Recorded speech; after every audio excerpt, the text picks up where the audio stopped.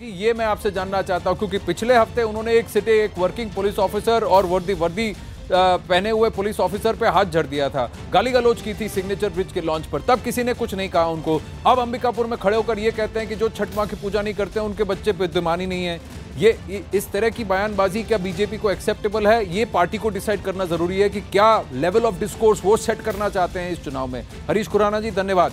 आगे बढ़ते हैं, मध्य प्रदेश की ओर रुख करते हैं, अखाड़ा में, जहाँ मध्य प्रदेश कांग्रेस के घोषणा पत्र में सरकारी इमारतों में आरएसएस की शाखा और सरकारी कर्मचारियों के शाखा में जाने पर रोक को लेकर एमपी कांग्रेस अध्यक्ष कमलनाथ ने दावा किया है कि पहले की सरकारों में भी ये नियम लागू था।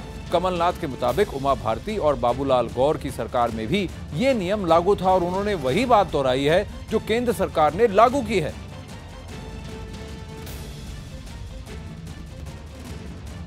तो हमने तो वही बात दोहराई है जो केंद्र सरकार ने लागू करी है। हमने वही बात दोहराई है जो उमा भारती जी, जब मुख्यमंत्री थी, उनके कार्यकाल में ये लागू था। आरएसएस को पूरी छूट है शाखाएँ लगाने का। केवल सरकारी शासकीय परिसरों में नहीं, जो हर जगह, हर प्रांत में जहाँ भारतीय जनता पार्टी की भी सरकार है, ये नियम है। तो ऐसा कुछ नहीं कहा जो कि आरएसएस पर सीधा आक्षेप है, उनकी पॉलिटिकल इंटरफेरेंस या एक आरएसएस पॉलिटिकल आउटफिट है या नहीं। कमलनाथ कहते हैं कि उमा भारती, बाबूलाल गौर के तारीम में भी था और ये सेंटर का एक रूल जारी है। हितेश वाजपेयी बीजेपी से हमारे साथ हैं के के मिश्रा कांग्रेस पार्टी से हमारे साथ हैं। हितेश वाजपेयी कैसे जवाब देना चाहेंगे आप?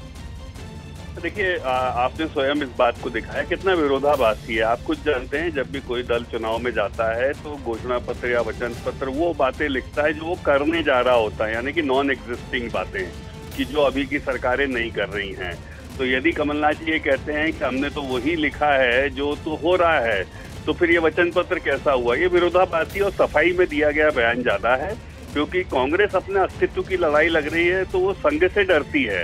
तो किसानों की, महिलाओं की, छात्रों की बात करने की बजाय वो समय पे आक्रमण करना चाहती है। जैसा कि इमरजेंसी के दौरान उसने किया था, क्योंकि आज 20 राज्यों में वो समाप्त हो चुकी है। तो उसे डर लगता है।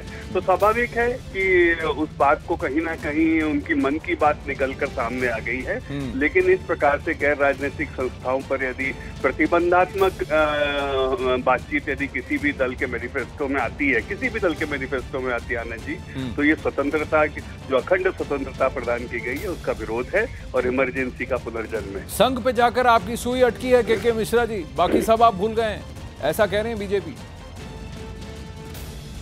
आपके उस शब्द पर मुझे घोर आपत्ति है कि कांग्रेस पार्टी संघ से डरती है। जब संघ आज़ादी की लड़ाई में अंग्रेज़ों का साथ दे रहा था तब हम अंग्रेज़ों से नहीं डरे नंबर एक। नंबर दो संघ तिरानू साल पहले गठित हुआ था। क्या गलत है। क्या डॉक्टर साहब मेरी बात सुन लीजिएगा।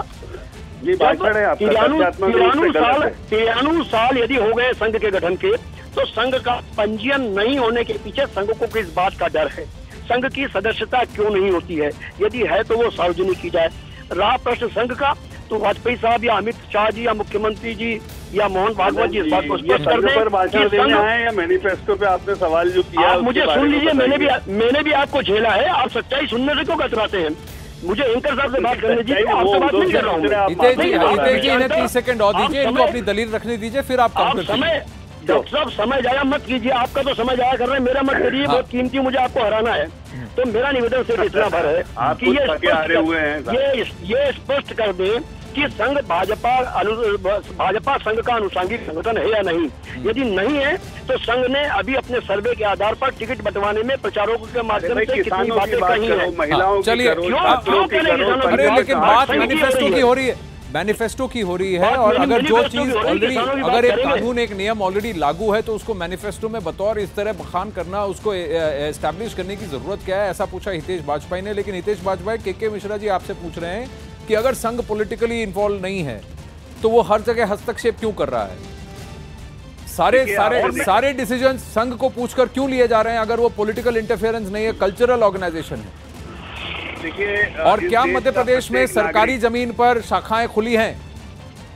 बिल्कुल नहीं है। शासकीय दफ्तरों में शाखाएँ वैसे ही नहीं लगती हैं इनको कोई आइडिया नहीं है। बिल्कुल लग रही है बिल्कुल लग रही है। मैं सड़क का आदमी हूँ। चैम्बरों में राजनीति नहीं करता हूँ। मैं चैम्बरों में राजनीति नहीं करता हूँ सड़क का आदमी हूँ सरकार। अच्छा। तो अच्छा मिश्रा जी हितेश हितेश वाजपेयी को हितेश वाजपेयी को अपनी काउंटर अपना काउंटर रखने दीजिए फिर आप वापस सवाल पूछिएगा। यस हितेश वाजपेयी देखिए, ये हिंदुओं से घबराए हुए, संघ से घबराए हुए, इसलिए कांग्रेस अपनी अस्तित्व की लड़ाई लड़ रही है। इसीलिए टेंपल रन चल रहा है।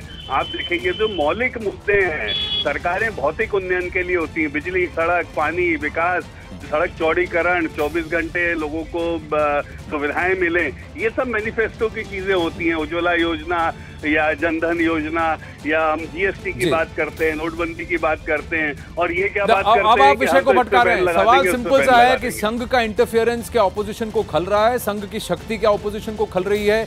या संघ अपने आप को कल्चरल ऑर्गेनाइजेशन बताकर सियासी दावपेच में हस्तक्षेप ब्रेजनली ओपनली कर रहा है? यहीं पे आर्ग्यूमेंट है हितेश वाजपेयी के के मिश्रा जी धन्यवाद। अखाड़ा में आगे एक बहुत बड़ी खबर आ रही है, आगे बढ़ना होगा। छत्तीसगढ़ से खबर आ रही है। छत्तीसगढ़ के बीजापुर में नक्सलियों और सुरक्षा बल के बीच इस वक्त एक एनकाउंटर जारी है, मुठभेड़ चल रहा है, चल रही है। दोपहर साढ़े बारह बजे से घने जंगलों में दोनों के बीच गोलीबारी हो रही है, जिसमें कोबरा बटालियन के दो जवान घायल हो चुके हैं। एक इंस्पेक्टर और कांस्टेबल घायल हुए हैं। बीजापुर में आज चुनाव चल रहे हैं। इससे पहले दांतेवाड़ा के एक पोलिंग बूथ पर सुरक्षा बल की छह को छह आईडी मिले थे। तो नक्सलियों का घोर प्रयास चल रहा है कि किस तरह से चुनावी इस प्रक्रिया को, इस प्रकरण को पूरी तरह से अगर वो डिटेल कर सके, लेकिन फ़िलहाल फौज जो है, जो फोर्सेस हैं, वो उसे नाकाम करने में कामयाब हुए हैं। डेढ़ बजे तक, एक बजे तक कहा जा रहा है 25 प्रतिशत वोटिंग हो चुकी है छत्तीसगढ़ में फ़र्स्ट फ़ेज़ ऑफ़ पोलिंग में। आदित्य राय हमारे साथ जुड़ रहे हैं लाइव अपडेट के साथ। जी आदित्य।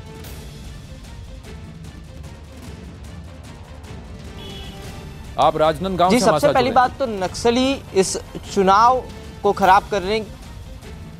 जी। जी।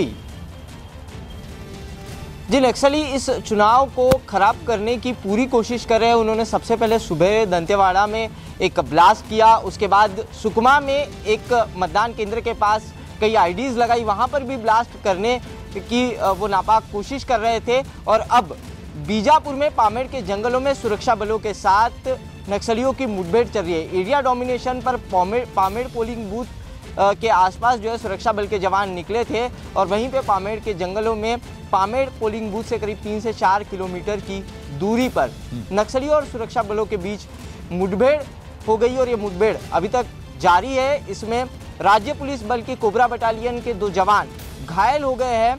जी। एरिया डोमिनेशन पर निकली इस टीम से नक्सली की नक्सलियों की मुठभेड़ होने के बाद सीआरपीएफ की बटालियन बीएसएफ की बटालियन और आईटीबीपी की बटालियन भी घटनास्थल पर पहुँच गई है और नक्सलियों से लगातार जो है वो लड़ाई अभी पामेड़ के जंगलों में चल रही है नक्सली कोशिश कर रहे हैं कि वो किसी तरीके से आगे बढ़कर कोई अपने नाप अपने नापाक मंसूबों दो दो रास्ते हैं उनको मुँह तोड़ जवाब देने का। एक तो हमारे फोर्सेस जो हैं हमारे जवान जो हैं मुँह तोड़ जवाब दे रहे हैं। ग्राउंड पर उनकर उन पर हमला बोलकर उनके हर इरादों को नाम कर नाकाम कर कर। दूसरा हम और आप कर सकते हैं। छत्तीसगढ़ के फ़र्स्ट फ़ेज़ ऑफ़ पोलिंग में रिकॉर्ड तोड़ वोटिंग कर कर। 25 प्रतिशत हुआ है अब तक एक बजे तक।